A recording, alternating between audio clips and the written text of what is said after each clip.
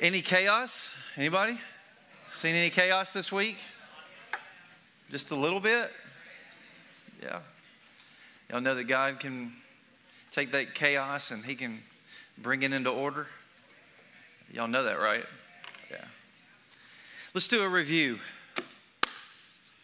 First place that we see chaos is in creation. Y'all remember this? Day one, He said,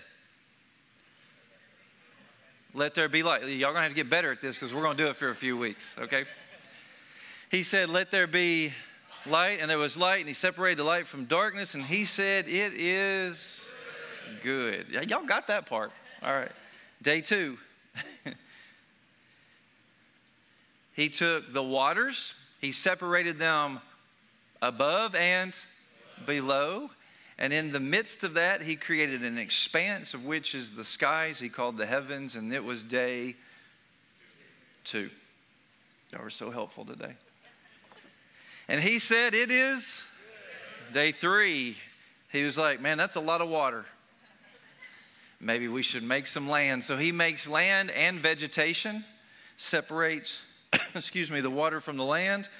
And it's day three. It is What's he do on day four? Talk to me, people.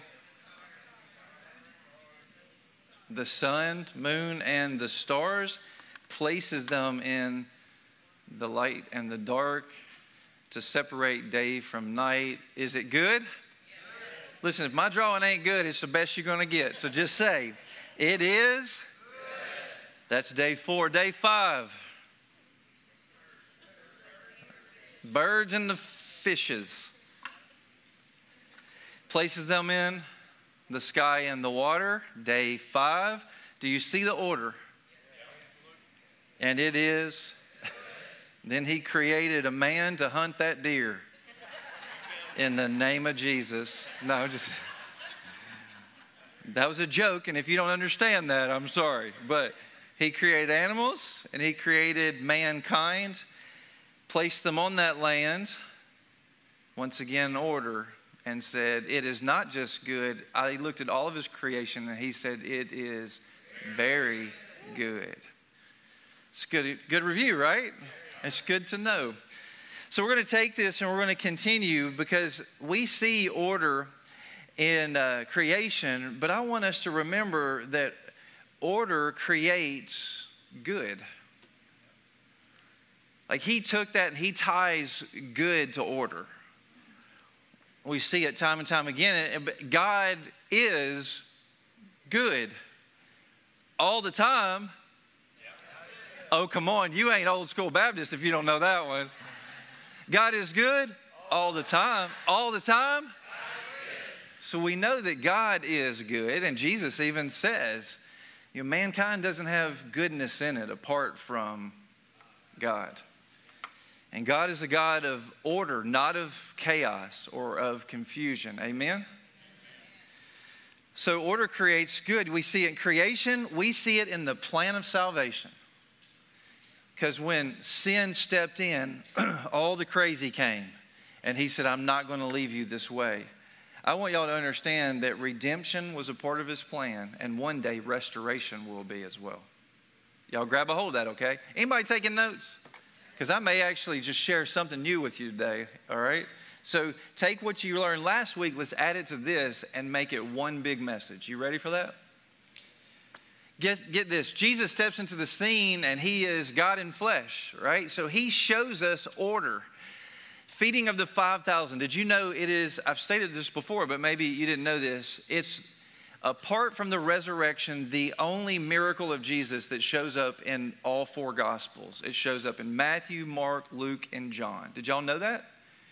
Watch this. In Luke, he shows that Jesus is a God of order. Because what he says is, all right, I'm going to break it. Disciples, come here. The disciples, he broke the bread, handed it to them, and he said, now have them sit down in groups of 50.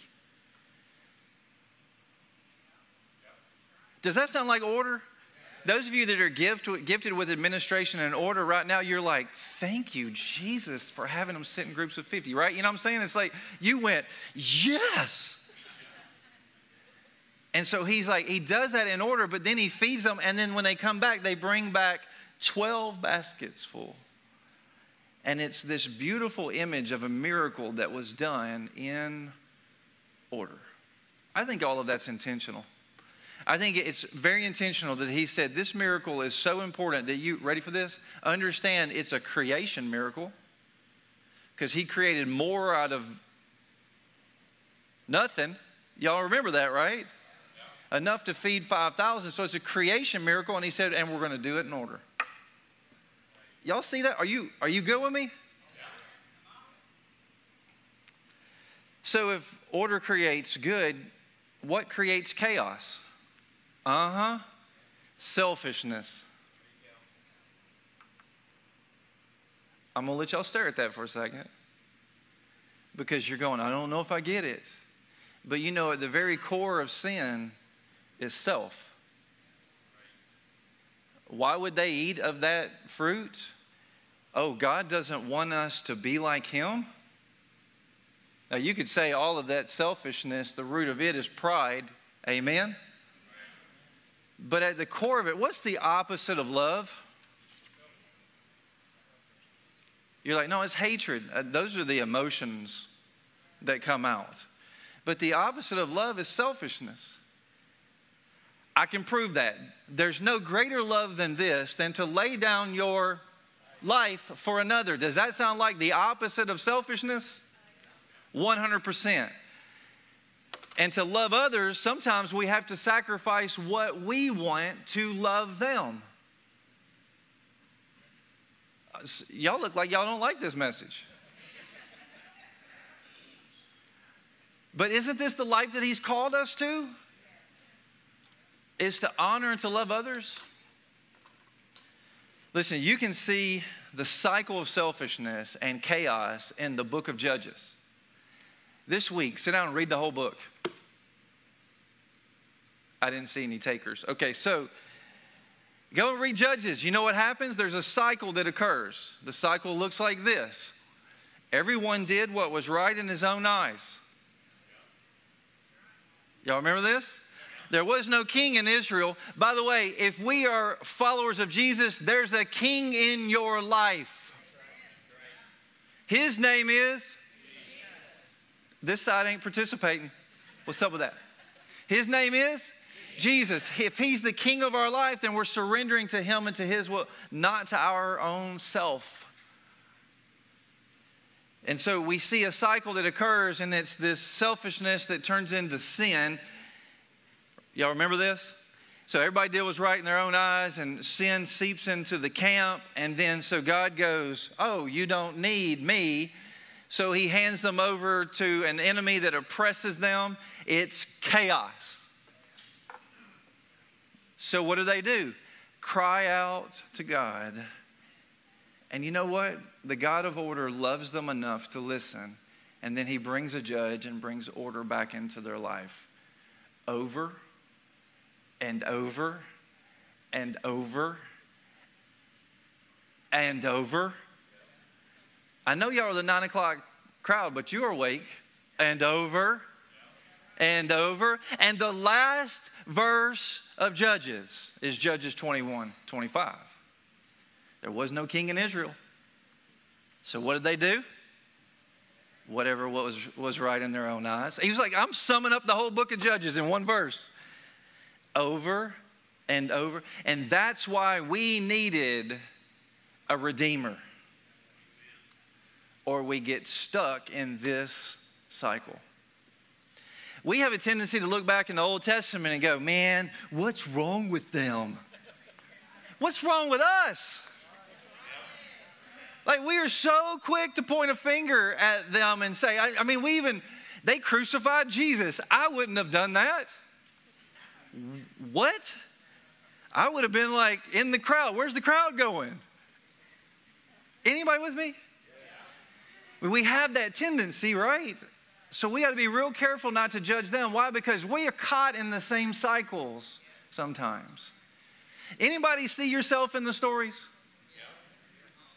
And I know what we do. We see ourselves in this story. There's David and Goliath, and I'm David. I'm going to kill that giant. Y'all see yourself right there, right? We're like, I'm David. What if you were to look at the story properly? I'm not David. I'm an Israelite standing up there shaking in my boots, and Jesus went down and he defeated the giant. You, you see, we oftentimes put ourselves in the story, but we put ourselves in the story in a good light. I'm not trying to talk anybody down. I'm just saying, let's be real. I love you enough. We need a Savior. We need a warrior. We need a lion. We need a lamb. And so he sent Jesus to be that perfect, spotless Lamb of God who takes away the sins of the world. It's us. Thank you, Jesus. So you see that cycle, and if we're not careful, we can fall into that as well. Can I, can I read to y'all what it's going to look like in the end times? Well, I went to church today, and Pastor Eric was going to encourage us, and then he read from the Bible.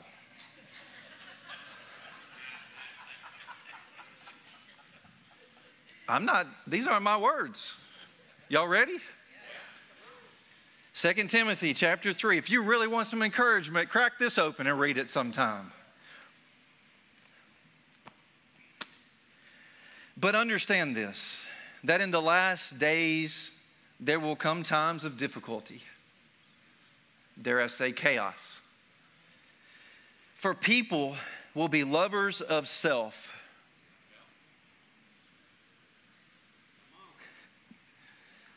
Just, just let the words speak for themselves. I'm just, think about what we're in the midst of right now, right? Lovers of money, proud, arrogant, abusive Here we go. Disobedient to parents. Ungrateful. And you know what's funny? The whole time we're reading this, we're thinking about somebody else.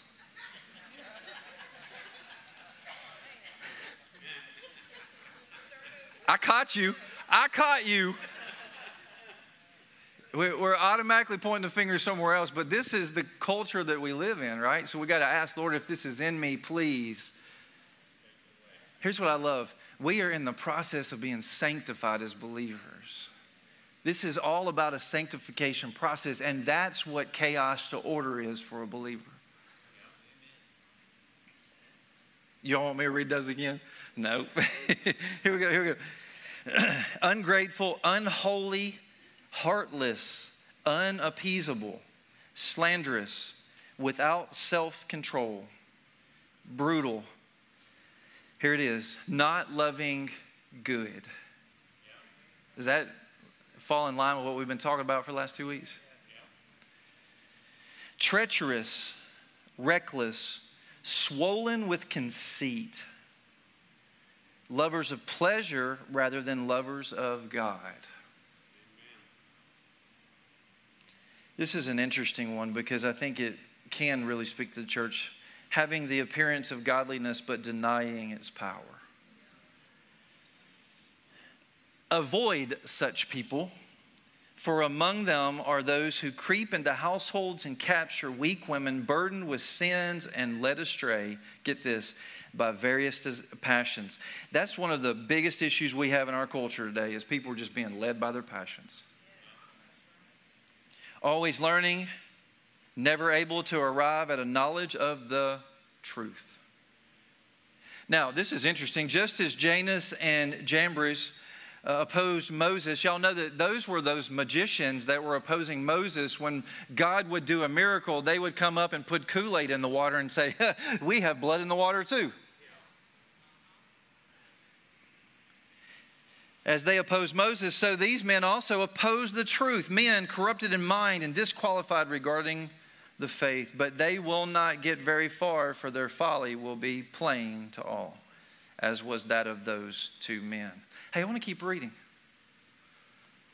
You, however, have followed my teaching, my conduct, my aim in life, my faith, my patience. Now, this is Paul writing to Timothy my patience, my love, my steadfastness, my persecutions and sufferings that happened to me at Antioch, at Iconium, and at Lystra. Which persecutions I endured, yet from them all the Lord rescued me. Indeed, all who desire, are you ready for this? To live a godly life in Christ will be persecuted. Well, I went to church today and Pastor Eric just totally encouraged me. You know what I encourage you to do? Stand up for the truth no matter what anybody else says. Even if it brings persecution. Why? Because this is a temporary life. We were created for eternity. True order will occur when everything is not just redeemed but restored. While evil people and impostors will go on from bad to worse, deceiving and being deceived. But as for you, continue in what you have learned and have firmly believed, knowing from whom you, you learned it, and how from childhood you have been acquainted with the sacred writings, which are able to make you wise for salvation through faith in Christ Jesus. Here it is all scripture is breathed out by God Himself and profitable for teaching, for reproof, for correction, for training in righteousness. Why? That you and I, the man of God, the mankind, the men and women of God, may be complete, equipped for every single good work. So, as we're processing the fact that we are living in chaos because Scripture said it was going to happen, then we ask the question how should we respond to the chaos in our lives? You want to do that? But first, let me ask you this what has caused this chaos? I think we need to do some introspection first. You want to do that? Everybody sit up straight. Everybody got you, you good? I do that with kids, by the way. If, you, if you're listening, sit up straight. And I notice none of y'all sat up. You're like, I, am not going to do what you tell me to do. No. Watch this. Three causes of chaos. Now, Brian McDowell, I'm going to give you credit for this, man. When we were sitting and we were talking, uh, Brian wrote this sermon outline for us, and it was super powerful. Watch this. You can, you can get these actually from Revelation chapter 2 when Jesus is talking to the church of Ephesus, because he'll show us how to respond to these things. But the first thing, first cause is Do I have sin in the world? Is there sin in the world? Is there sin in the world around me? Scripture says it's going to happen, right? So we know one of the causes from the very beginning when man fell, chaos came because of sin in the world. But we can't point it all at the world. We have to take the next one and ask, Do I have sin in my life? Because sometimes I'm creating chaos in my life, right? And then finally, and this was the one that I really loved, Brian, when you brought this out, is sometimes you're just battling the darkness.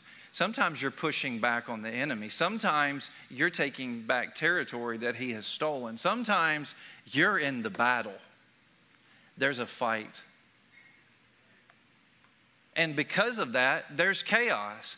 But you've been called to the fight to bring the truth against the lies. So, not all of it's bad stuff. Sometimes it's because you're pushing back the enemy. Your battle's not against flesh and blood, but against principalities and rulers. And it says, in the heavenlies, we're going to pierce the darkness sometimes, be the tip of the spear.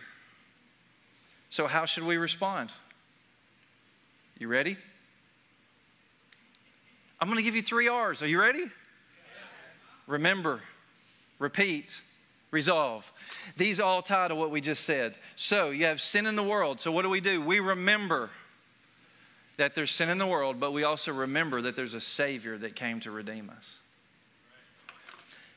So the opposite of remembering is dismembering. So I'm going to take this sheet of paper because I, I kind of like to keep that one for later, all right? So I'm going to take this sheet of paper I'm going to place it in a frame. Sometimes we have to frame the truth up in our lives. Make sense? So the truth is, he brings order to creation. You know that, right? And we need to remember that. Well, what the enemy does is he comes along and he likes to dismember. He likes to tear the truth apart. He likes to take the truth and just begin to shred it and to dismember it and to do anything he can to get us not to believe the truth. But I love how Jesus, when he's tempted with the lies, he takes and he remembers.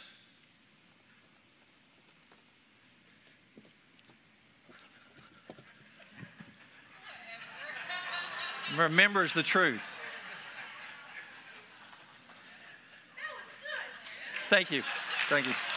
Thank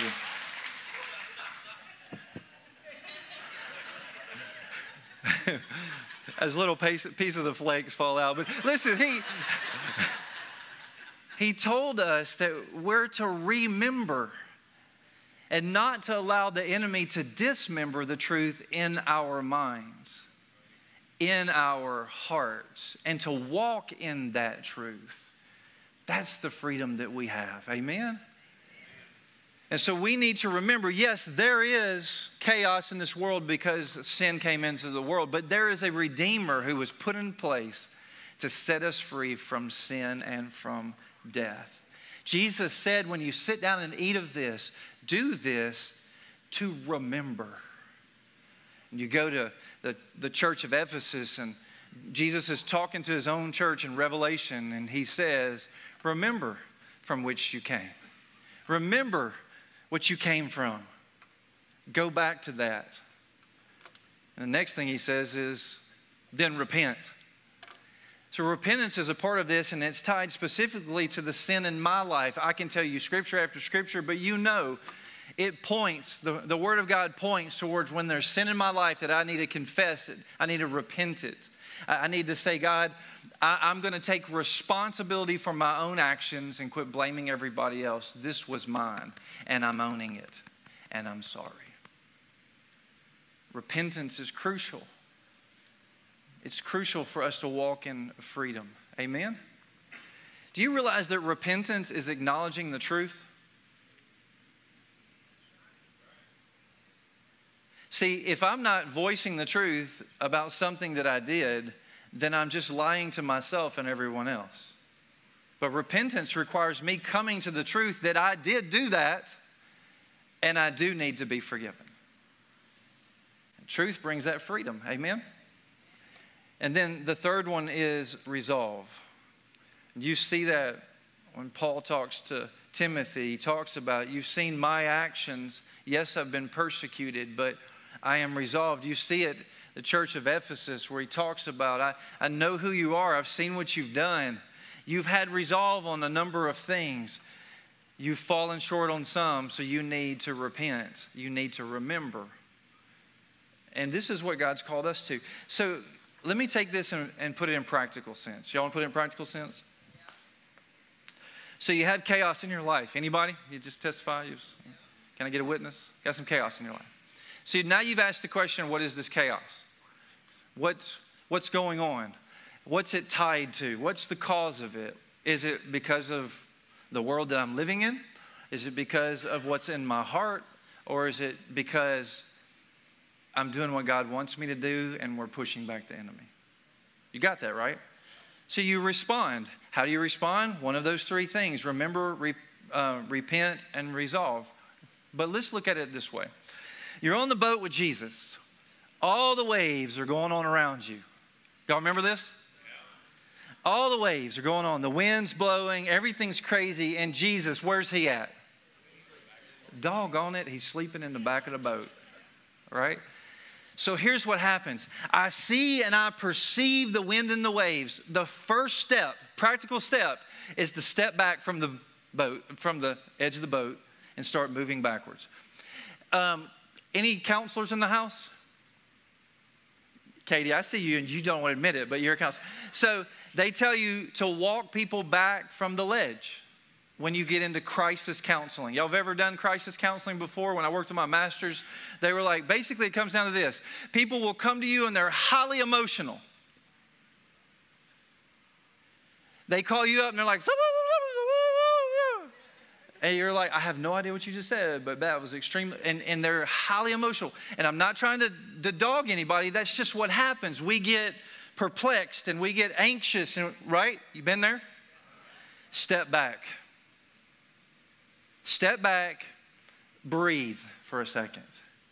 Do not be reactive. We're called to respond. So don't be quick to react. Just step back. Dare I say, because the next step is to rest. Rest in the truth, meditate on the truth, either one, whichever is going to work for you. God has called us to Sabbath. The word Sabbath in the original language is Sabbat, and it means stop. Want me translate it for you again? Stop. Quit walking towards the ledge. Quit, just stop. And he says, Come to me, all you who are weak and heavy laden, and I will give you rest. Come into his presence. Take a moment, step back from the wind and the waves, and remember, Jesus is in the boat with you. Now, you may not have heard his voice yet. I mean, how dare he be asleep, right? But that truth is inside of you. Step back from what you see and breathe for a second. And I thought this was great. Shell brought this up in our staff meeting as well. I think it's important for you to understand that it's okay to call a friend who will speak truth into you. Rest does not mean you have to do it alone. You can have Sabbath and rest with others that you trust.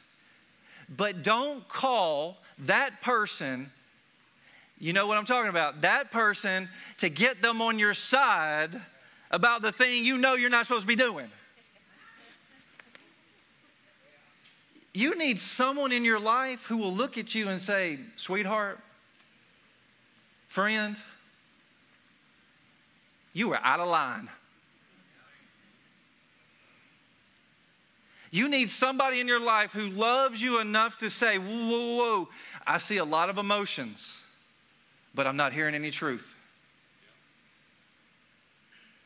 You, what if we start calling those people? You know what'll happen? They'll start praying for you in a moment of chaos. And you know what that'll do? Start the wheels turning for healing. Start the wheels turning for restoration, redemption in your life, sanctification. Believers, to be holy as He is holy requires us to keep walking in sanctification. So, rest in the truth, meditate on the truth, wake up the truth inside of you. And then the final one is then respond accordingly, according to the truth. What if we did this? Y'all want to try it? You're like, oh, you mean right now? No, I mean this week when the chaos starts to spin. You're like, well, I don't know that any will. Welcome to life the chaos starts to spin around you. I find it interesting that the scripture tells us to not be anxious about anything. Y'all ever taken this verse and been like, but Lord, you don't know about this? Okay, so it says, do not be anxious about anything.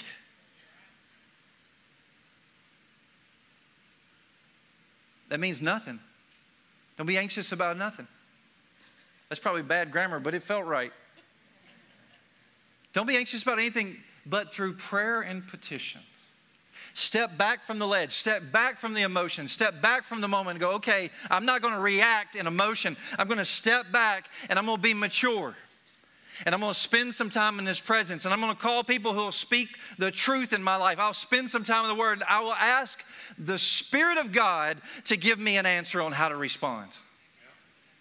I'll spend time alone to get Spirit of God to speak into me. I will have people around me that will affirm those things. And then I'll know how to respond to the chaos. Y'all, we're, we're in a season of revival. And guess what? The enemy hates it. Hates it. So, what's happening? There's some crazy going on. as the Spirit's moving, the enemy is pushing back. And we're going, okay, God. I mean, can I just be brutally honest with you? Is that okay? Like, I, th- I think we're family. Can, you, can I trust you for a second? Sometimes I just want to punch people. Can, can I say that? And I'm, listen, it has nothing to do with y'all. I'm not talking about you. I'm talking about sometimes like when the enemy pushes back in the community or something, y'all are like, Pastor says he's gonna punch me. That had that is not what I said. Listen, what I'm saying is sometimes there are people that come against the church and I just want to tackle them. I, I want to put a hurting on them. You're like, but you weigh a buck 50. Listen, I, I may be scrawny, but I'm wiry. And then, you know, sometimes I just you just want a chokehold. And he said, No, no, no, no, that's not how. See, your battle's not against flesh and blood. Step back. Stop. Rest in me, and I'll show you how to respond. And this is this makes me so mad. I love my Jesus, but he makes me mad sometimes, okay? Because I, I typically, when I have to respond, he always makes me respond in humility.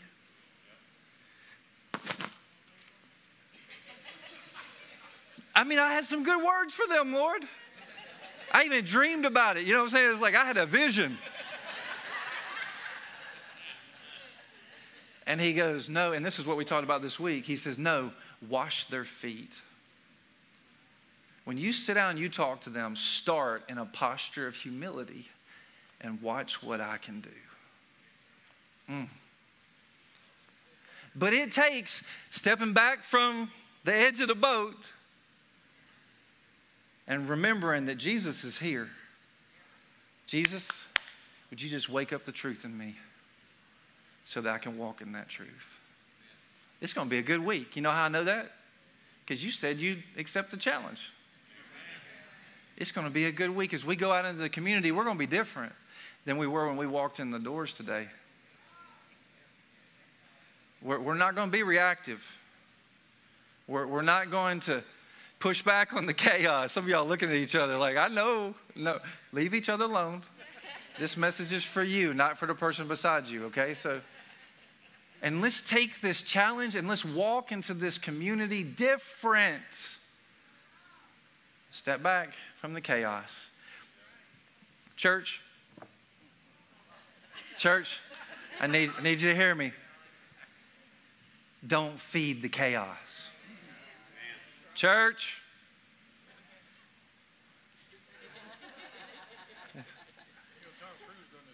don't, don't feed the chaos. We're a part of the solution, not the problem.